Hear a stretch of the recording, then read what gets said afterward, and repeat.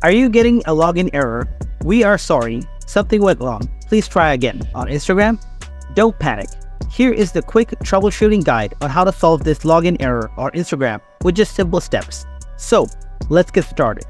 Before proceeding, make sure you have a reliable internet connection. If not, open your browser, visit a website or YouTube, and check for loading issues. If the problem persists, move on to the next solution. Solution 1. Turn on and turn off airplane mode. Slide down, turn on airplane mode, then wait for 30 seconds, and then turn it back off. After that, check if your internet issue is fixed or not. If not, try to restart your device and see what happens. This can fix minor software glitches with your device's operating system.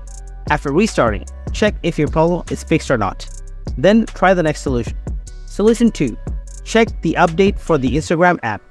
Open the App Store, search for Instagram app, Check if there's a new update or not. If there is a new update, then update the app.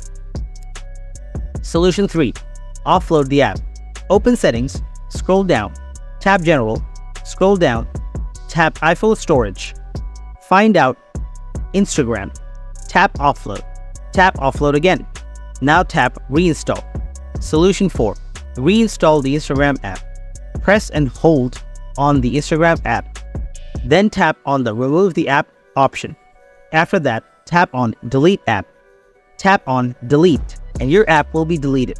And now, reinstall the app from the App Store. Now, this is how you can fix the login error on Instagram. Hope you found this video helpful. If you did, then hit the like button and, and don't forget to subscribe to our channel. If you have any kind of questions, then feel free to ask them in the comment section below. Thanks for watching.